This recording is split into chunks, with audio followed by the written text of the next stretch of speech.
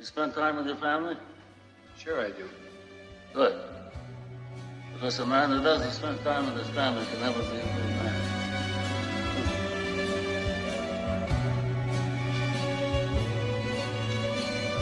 You look tired. I want you to wrestle out with a month from now. This Hollywood big shot's gonna give you what you want. I'm gonna make him an offer he. Whoa, yeah.